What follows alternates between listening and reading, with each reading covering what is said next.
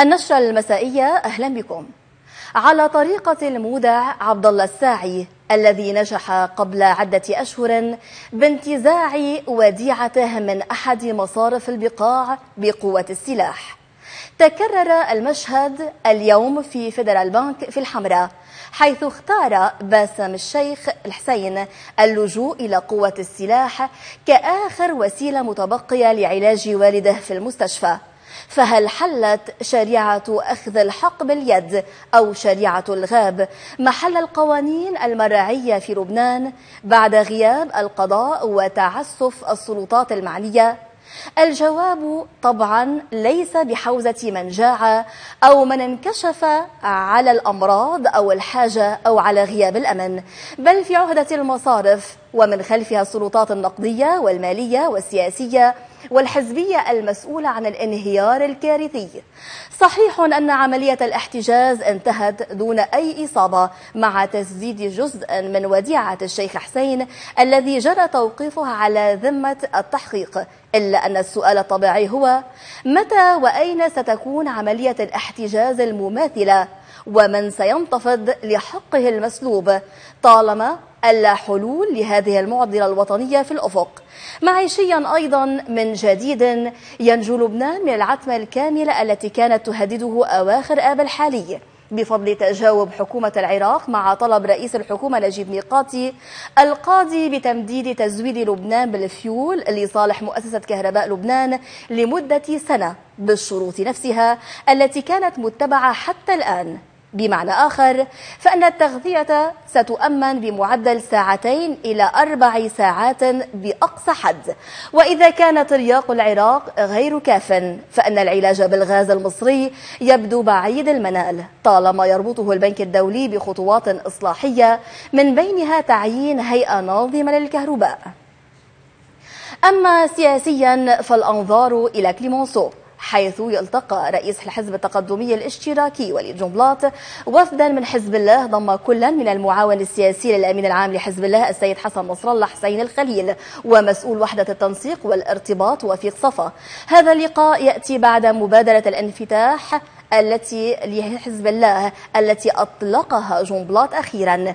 مع ما سينتج عن اللقاء من مواقف متعلقة بالملفات الحساسة كموضوع الترسيم والثروة النفطية والاستحقاق الرئاسي وخلافه.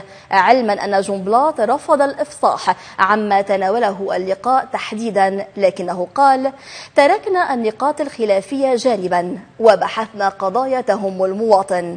وفي الحديث عن الترسيم فإن الحرب الإسرائيلية على غزة أخرت مسار مفاوضات ترسيم الحدود البحرية بحسب ما أعلنه نائب رئيس مجلس النواب اليوم. وأضاف إن الأمل بإنجازه قبل شهر أيلول الحفاظ على الاستقرار. إلا أن أجواء مستقاة من زيارة أموس هوكشتاين لتل أبيب أوضحت بأن هوكشتاين أمضى ثلاثة أيام في إسرائيل لبحث ملف الترسيم. إلا أن هذا الملف تراجع الاهتمام به نظرا للأحداث في غزة. إذا بداية النشرة من حادثة المصرف في الحمراء حيث انتهى نهار الاحتجاز الطويل ومن هناك ينضم إلينا الزميل لؤي فلحة. يعطيك العافية لؤي. الله يعافيك كاتيا. نعم لؤي يعني كيف يبدو هو نهار طويل انتهى اليوم. انتهى اليوم بطريقة إيجابية نوعا ما مع خروج الموظفين سالمين وأخذ الشخص الذي قام باحتجاز الموظفين كرهائن آه، آه، برفقة القوى الأمنية.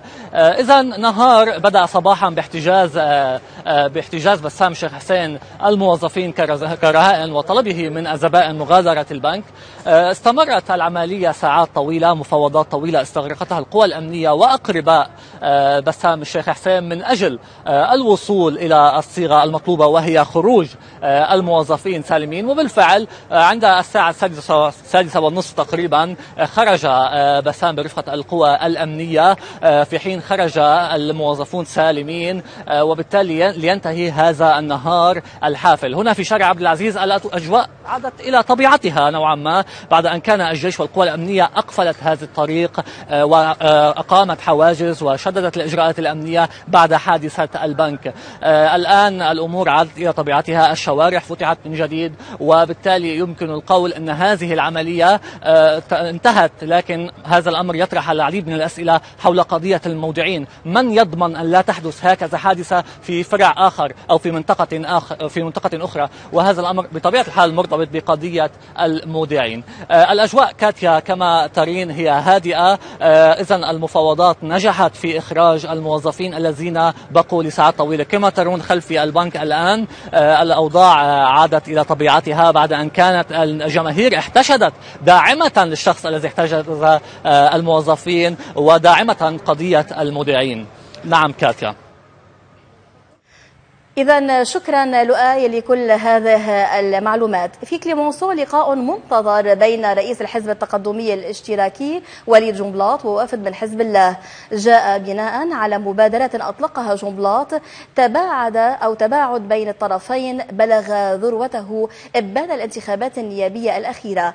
وبعد اللقاء قال جنبلاط أننا تحدثنا عن النقاط التي يمكن معالجتها أيضا يمكن معالجتها وهذه فرصة والحوار قد يستكمل لاحقا. ولكن هذه الأمور التي بحثنا فيها هي آه، تستكمل للوصول إلى الحد الأدنى من التوافق حول أمور بديهية تهم المواطن. لافتا إلى أن هناك نقاط مختلفة بيننا وضعناها جانبا.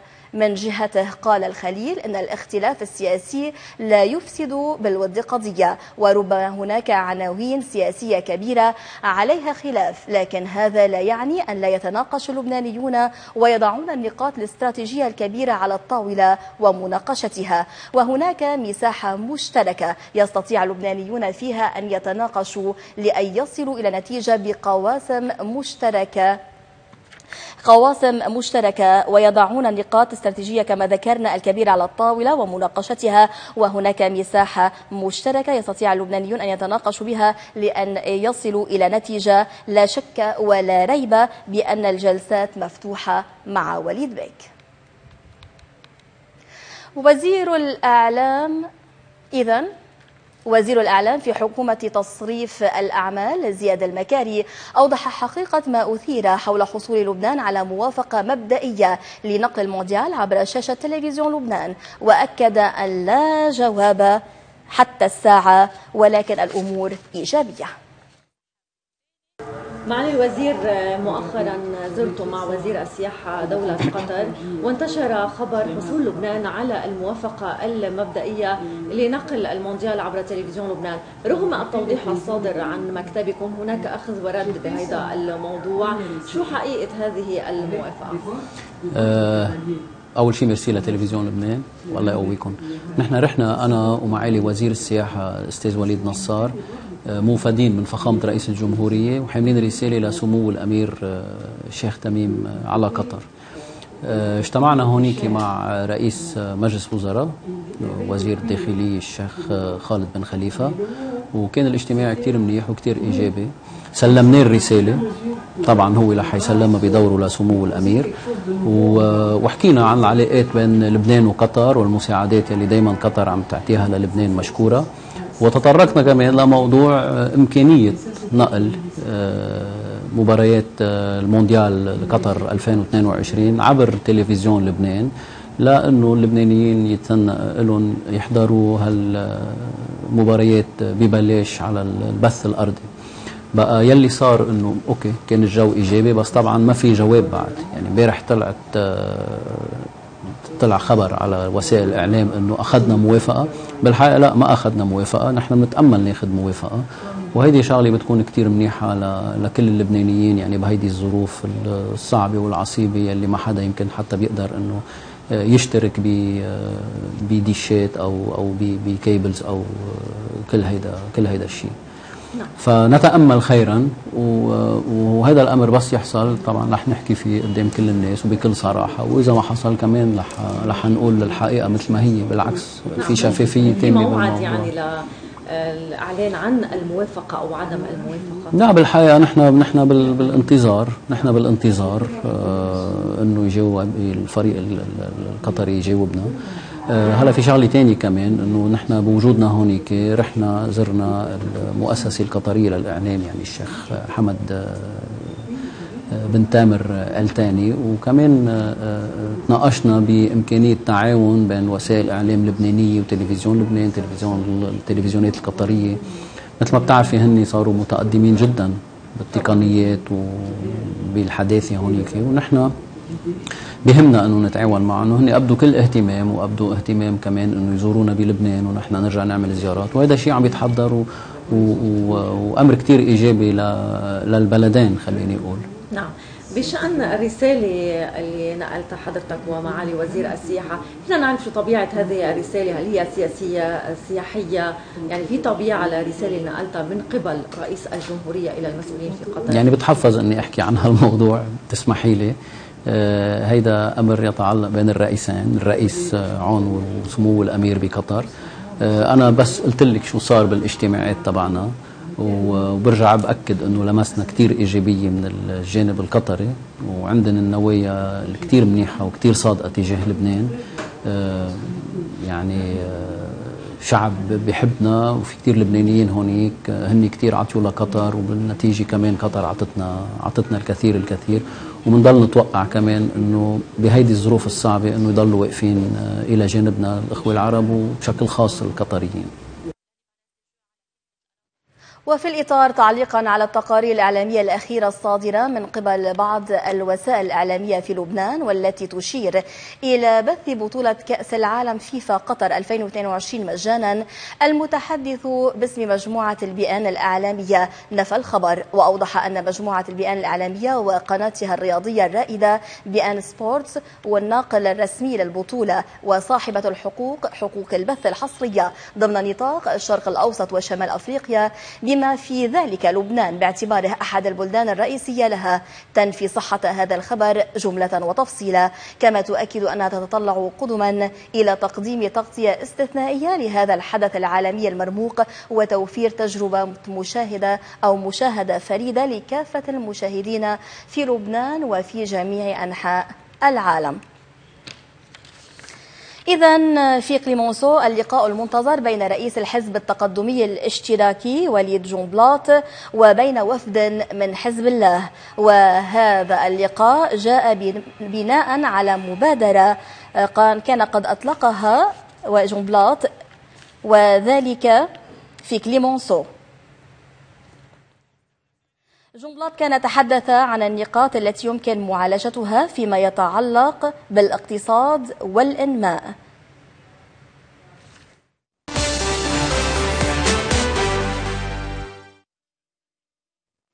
أطلق أهالي ضحايا فوج إطفاء بيروت في مؤتمر صحفي عقد في نادي الصحافة عريضة إلكترونية لدعمهم بالمطالبة بلجنة تقصي حقائق دولية تحت عنوان العدالة لضحايا تفجير مرفأ بيروت. وأشار ويليام نون في بيان إلى أن الأهالي زاروا يوم الجمعة الماضي مقر الأمم المتحدة والسفارات الفرنسية والبريطانية والأمريكية والروسية على أن يزوروا السفارة الصينية لاحقا وتم تسليمهم رسالة الرسالة التي التي أعلن عنها في تحرك 4 آب. إذا لم يعد التحقيق أو إذا لم يعد التحقيق في قضية انفجار مرفأ بيروت خلال 90 يوما. وأوضح نون أن الرسالة تتضمن مطلبين. الأول هو لجنة تقصي حقائق دولية. والثاني دعم الدولة اللبنانية والقضاء اللبناني لهذه اللجنة. ووضع الملف والوثائق التي توصل إليها المحقق العدلي القاضي طارق بيطار. لجنة تستكمل لجنة لتستكمل التحقيق ولتصدر القرار الظني. أعلن النائب أشرف ريفي أن الغواصة التي تبرع أفراد من الجالية اللبنانية في أستراليا بتأمين تكاليف شحنها إلى طرابلس لسحب بقايا زورق الموت الذي غرق منذ أكثر من شهر قبالة طرابلس وانتشال جثث الضحايا الموجودين في داخله غادرت يوم 7 آب من مرفأ إسبانيا وستصل إلى بيروت في السابع عشر من آب الحالي. وأضاف أنها ستنقل بعد يوم أو يومين يومين إلى طرابلس لتبدأ بتنفيذ مهمتها. وعن كلفة عمل الغواصة لمدة أسبوع قال إنها تبلغ 251 ألف يورو إضافة إلى نحو 50 ألف دولار أمريكي كتكاليف إقامة طاقم الغواصة والفريق المسؤول عن أرشفة المهمة. صدر عن قيادة الجيش مديرية التوجيه بيان أوضحت فيه أنه أثناء تنفيذ مهمة أمنية مقابل شاطئ السعديات اندلع حريق في خافرة تابعة للقوات البحرية. وعلى الفور تدخلت طوافة من القوات الجوية ومراكب من القوات البحرية وعناصر الدفاع المدني الذين عملوا على إخلاء طاقم الخافرة دون وقوع إصابات بينهم. فيما يتم العمل لإخماد الحريق المندلع في الخافرة المذكورة. نتابع النشرة بعد الفاصل. عودة لمتابعة النشرة مصعب من بعبدة يصحح الأنباء المتداولة حول ملف الترسيم ويقول أن التحقيق بانفجار المرفأ قد يأخذ مجراه من جديد. ملف ترسيم الحدود البحرية الجنوبية حضر في لقاء رئيس الجمهورية العماد ميشيل عون مع نائب رئيس مجلس النواب الياس بوصعب الذي أكد أن ما يصدر في الإعلام من معلومات متعلقة بملف الترسيم مخالف للموقف الرسمي الذي تبلغه لبنان حول الموضوع لافتا إلى أن الوقت أمام المفاوضات ليس مفتوحا إلى ما لا نهاية فكلما اقتربنا من شهر أيلول يزداد الوقت حرجا في هذا الملف. وفيما كشف بوصعب أنه فهم من رئيس الجمهورية أنه قد شارف على الانتهاء من دراسة قانون قانون السرية المصرفية المرفوع إليه من المجلس النيابي وسيوقع عليه في وقت قريب. وعن ملف التحقيق بانفجار مرفأ بيروت أكد انتظار ما سيصدر عن مجلس القضاء الأعلى بموضوع محكمة التمييز. اليوم أو بكرة مفروض نحن نسمع جواب من المجلس الأعلى للقضاء. المجلس الأعلى للقضاء اليوم في عنده مرسوم استرده وزير العدل من وزير المال وبعته للمجلس الأعلى للقضاء لحتى يرجع يرفع آه، تشكيلة وفق المرسوم اللي هو بيقول قد يكون هناك 11 رئيس غرفة ورئيس أول واحد بما معناه من 12 شخص مؤلف من 12 شخص اللي بألفوا الهيئة العامة. جواب المجلس الأعلى للقضاء بين اليوم وبكرة هو بحدد المرحلة القادمة.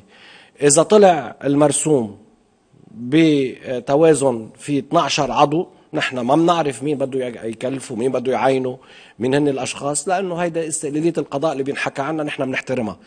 ولكن اللي ما بنتفهمه وإن شاء الله ما يصير أنه ما يطلع آه، قرار أو ما يطلع مرسوم جديد ساعتها بدنا نسأل بصير في علامات استفهام أنه مين المعرقل ولأي سبب. الرئيس عون تناول مع وزير المهجرين عصام شرف الدين موضوع النازحين السوريين في لبنان وزيارة الوزير المرتقبة إلى سوريا أواخر الأسبوع الجاري. بكفي أنه نحط القطار على السكة تنوصل لبر الأمان. مهم نبدأ بشيء يعني. نحن عرضنا الفكرة كانت فكرتنا كوزارة المهاجرين وحضيت بموافقة الرؤساء وحضيت بموافقة مجلس الوزراء أنه 15 ألف شهريا. بما يتناسب مع القدرة الاستيعابية للدولة السورية. نحن بدنا إياهم يرجعوا عودة آمنة وكريمة. وهي الفكرة بتعتمد مبدأ العودة على القرى على نفس البيئة اللي إجوا منها والضواحي اللي إجوا منها. وفي قصر بعبدة وفد من الجامعة اللبنانية الثقافية في العالم وجه إلى الرئيس عون دعوة لحضور المؤتمر الاقتصادي الاغترابي الأول من أجل لبنان. وكرم الرئيس عون كلا من البطلة الرياضية ريتا أبو جودة وساندرا سكر. رئيس مجلس النواب نبيه بري التقى في عين التين سفيري الأوروغواي كارلوس جيتو والبريطاني هامش كاول في زيارة بروتوكولية لمناسبة توليهما مهامهما الدبلوماسية في لبنان. الرئيس بري اتصل بالسيد تيسير قصير مقدما التعازي بوفاة والدته الحاجة فوزية محمود حمزة والدة فاتح عهد الاستشهاديين الاستشهادي أحمد قصير.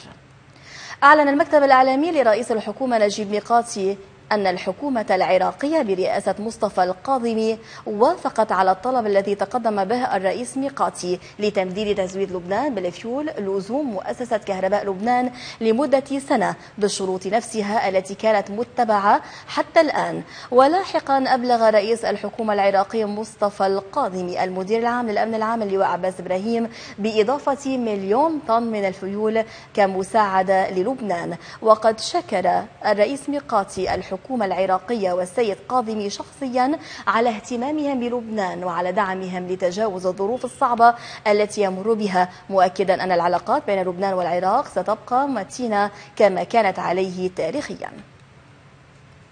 التقى البطريرك الماروني الكاردينال مار بشارة بطرس الراعي في الديمان رئيسة منظمة الدفاع عن المسيحيين IDC طونيا خوري التي ناقشت مواضيع تتعلق بالولايات المتحدة وأهمية حياد لبنان واهتمام المجتمع الدولي بما يحدث. وجرى التشديد على العمل لمنع الفراغ في سدة الرئاسة وعلى أهمية انتخاب رئيس ماروني يركز على مشروع كيفية إخراج لبنان من هذا المأزق. خوري أكدت العمل على توفير الأسباب التي تسمح للشباب المسيحي بالبقاء في لبنان مؤكدة أنها ستنقل مشاهداتها مع كل ما رأته شخصيا إلى الولايات المتحدة. في معراب التقى رئيس حزب القوات اللبنانية سمير جعجع السفيرة الأمريكية دوريثي شاي وجرى عرض للتطورات السياسية في لبنان والمنطقة. وبحسب البيان فقد اطلعت شاي أو أطلعت شاي رئيس القوات على المستجدات التي يشهدها ملف المفاوضات حول ترسيم الحدود البحرية وناقشا ملف استجرار الطاقة من مصر بحيث تبين أن هذا الأخير متوقف اليوم عند مطلب تشكيل الهيئة الناظمة من قبل البنك الدولي وهو أمر لم تحرز فيه الحكومة الحكومة أي تقدم حتى الساعة مما يحرم اللبنانيين من الكهرباء ويبقيهم في الظلمة. وقد شدد جعجع على ضرورة مواكبة لبنان في المرحلة الدقيقة المقبلة وضمان إنجاز الاستحقاق الرئاسي في موعده الدستوري. كتلة الوفاء للمق... الوفاء للمقاومة بعد اجتماعها الدوري برئاسة النائب محمد رعد لفتت في بيان إلى أنه ترقب باهتمام مسار مسألة الترسيم لحدود لبنان البحرية والمنطقة الاقتصادية الخاصة وحقول الغاز الواقعة ضمن السيادة اللبنانية كما الكتلة تراهن على يقظتها وجهوزية المقاومة الفعالة من أجل تكريس حق لبنان السيادي. كما تؤكد أن الوقت ليس مفتوحا أمام الصهاينة لإنهاء هذه المسألة. تدعو الكتلة جميع القوى الوازنة على المستوى الوطني في لبنان إلى تحسس مخاطر الانزلاق نحو الفراغ على مستوى السلطة التنفيذية وإلى عدم تضييع الوقت إزاء المساعي التي ينبغي أن تنشط بشكل جدي ملحوظ لتشكيل حكومة كاملة الصلاحيات ومؤهلة فعلا للقيام بواجباتها في مواجهة التحديات الدستورية والوطنية والنهوض بأعباء البلاد خصوصا أن الأزمات بلغت مبلغها على المستويات كافة سيما أزمة التعليم ونحن على أبواب عام دراسي جديد مهدد وقلق. أكد السفير البابوي المونسنيور جوزيف سبيتيري اهتمام الكرسي الرسولي بلبنان ومتابعة أوضاعه وشدد خلال زيارته الرابطة المارونية أن الفاتيكان ما زال يراهن على رسالة لبنان التعددية وأوضح أن الغرب والأمم المتحدة أبديا تفهما لموقف لبنان من مسألة عودة النازحين السوريين إلى المناطق الآمنة. كما ولفت إلى أن زيارة البابا للبنان ما زالت واردة وسيعلن عنها عندما يرى الفاتيكان أن توقيتها مفيد للبنان. وتعليقا على الحياد الناشط الذي طرحه البطريرك الماروني أكد السفير البابوي أن الموضوع على طاولة البحث مع الدول المعنية وقد تتغير التسمية لكن النتيجة واحدة. وجه النائب رازي الحاج سؤالا إلى الحكومة عبر مجلس النواب عن موضوع إعادة هيكلة الإدارة العامة وإجراء المسح والتوصيف الوظيفي الشامل وموضوع إلغاء بعض المؤسسات والمصالح العامة ودمجها ولجنة حقوق الإنسان بحثت في تعديل قانون المخدرات. كلنا بنعرف أنه الرواتب والأجور كانت تشكل قبل الأزمة أكثر من 40% من نفقات الموازنة. لهيك بال 2018 لما أقر رفع الرواتب والأجور ضمن سياسة الرتب والرواتب تم الطلب من الحكومة إجراء مسح شامل للإدارات العامة وإعادة وضع تصور لإعادة هيكلة القطاع العام تيعرفوا قد الملكات قد عدد الموظفين شو بحاجة الإدارات العامة؟ اجتماع لجنة حقوق الإنسان النيابيه اليوم حول دعوة كانت من أجل مناقشة تعديلات يجب إدخالها على قانون المخدرات اللي اخر من 22 سنة. وبالتالي كان لابد من إدخال يعني بعض المفاهيم بالتجربة اللي صارت بالفترة الماضية لابد من تعديلات على هذا القانون إضافة لمفاهيم جديدة مجتمعية بهذا الخصوص. الهدف حماية المجتمع وحماية من يغرر بهم من أنه يروحوا بالطريق الخطأ أو زار وفد من كتلة النواب الجمهورية القوية وزير الزراعة في حكومة تصريف الأعمال عباس الحاج حسن. وتطرق البحث حول ملف تصدير إنتاج التفاح اللبناني والعنب. وفي كيفية توسيع برنامج التصدير بالأسعار التي تناسب المزارع اللبناني. كما تم الاتفاق على أن يكون هناك اجتماع فوري لكل التجار المصدرين والمستوردين العاملين على الأراضي اللبنانية لوضع الأمور في نصابها. إذ أنه لم يعد مسموحا أي متاجرة أو احتكار أو لعب في الوقت الضائع. وزير الأعلام في حكومة تصريف الأعمال زياد المكاري التقى في مكتبه في الوزارة المستشار الإيراني الجديد الملحق الثقافي كميل باقر زادة لينتقل بعدها لزيارة جريدة لوريون لجور في الحازمية حيث جال على أقسامها وكان في استقباله في الحازمية المديرة العامة نايلة دو فريج المدير التنفيذي فؤاد خوري حلو رؤساء التحرير والفريق الإعلامي العامل في الجريدة. الوزير المكاري أشاد بالجريدة. خليني أقول آخر موقع مقاوم للصحافة الفرنكوفونية. ما بعرف si je me permets de dire إنه Moyen-Orient ما بعرف. je sais pas je pense لا هلا. نحن عم نحكي هلا. عم نحكي هلا. شو في صحافة فرنسية بال ما بعرف إذا في. en Égypte? oui مش نحن عم نحكي هون يعني إنه أنتم بعتقد آخر la dernière poche de résistance إعلام كمان. بس نحن يعني بعلاقاتنا يلي بنقدر ننسجها مع الخارج ومع البلدان الفرنكوفونية ومع فرنسا وبعتقد إنه أنتم vous avez les bonnes relations أنا بحط حالي بتصرفي إني أقدر ساعد قد ما في بكل شيء أنتم بتريدوه وأنتم بحاجة له آه، أول شيء déjà في مؤسسة عم توظف ناس و... والناس يلي عم بيشتغلوا هون au moins ما عم بيتركوا البلد. يعني باقيين هون لأنه هيدا النزف هو يلي ممكن ينهي لبنان. ماشي غير يعني. نحن نحن بقينا هون بظروف كتير صعبة. بس أصعب من هيدي الظروف ما في فيها تكون الكريزه إيكونوميك كتير قوية على البلد. بس يلي أصعب شيء هو الشباب والشابات يلي عم بيروحوا من هون. يلي هذا بيكسر القلب وبيكسر بيكسر لبنان. أطلقت الجمعية اللبنانية من أجل ديمقراطية الانتخابات لدى تقريرها النهائي لمراقبة الانتخابات النيابية للعام 2022 تحت عنوان تحديات تتخطى القانون موثقة المخالفات التي توزعت بين رشا انتخابية تحت مسمى المساعدات وانعدام للمساواة في التغطية الإعلامية والعنف والتحريض واستغلال النفوذ من قبل السلطات المحلية والأحزاب. المخالفات بلغت 2669 مخالفة تمكن مراقبو لدى من رصدها وتوثيقها خلال عملهم وهي مذكورة بالتفصيل في التقرير النهائي.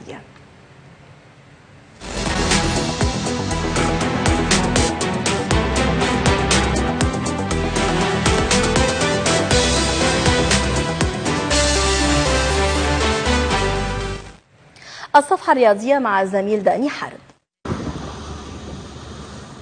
رح يبدأ مونديال قطر 2022 بالفوتبول قبل يوم مما كان متوقع. ليصير التاريخ 20 تشرين الثاني بدلا من 21 تشرين الثاني ورح تكون البداية مع حفل افتتاح رائع. ثم باليوم الثاني رح تلعب الدولة المضيفة قطر ضد إكوادور. على أنه تصير أيضا بنفس اليوم مباراة سنغال والبلاد المنخفضة بالمجموعة الأولى ثم إنجلترا ضد إيران بالمجموعة الثانية. توج ريال مدريد الإسباني بكأس السوبر الأوروبية على حساب آينتراخت فرانكفورت الألماني بنتيجة 2-0 بالعاصمة الفنلندية هلسنكي. بفضل دافيد ألابا وكريم بنزيما اللي أصبح ثاني الهدافين التاريخيين بالنادي الملكي مع 324 هدف مع العلم أنه كريستيانو رونالدو معه 450 هدف.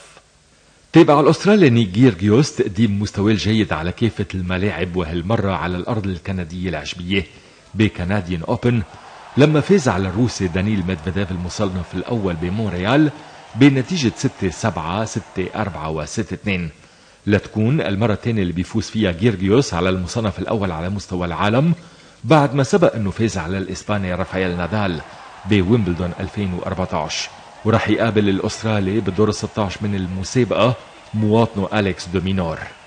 وبمباراة تانية وبمحاولة عودة الأمريكية سرينا ويليامز لمستواها بعالم التنس فما وجدت الأمريكية الإيقاع المناسب بدورة Canadian Open وسقطت أمام السويسرية بليندا بنسيتش بسهولة بنتيجة 2-6 و4-6 لتخرج من الدورة ويأكد مستواها أنه ما عاد كما كان بالسابق.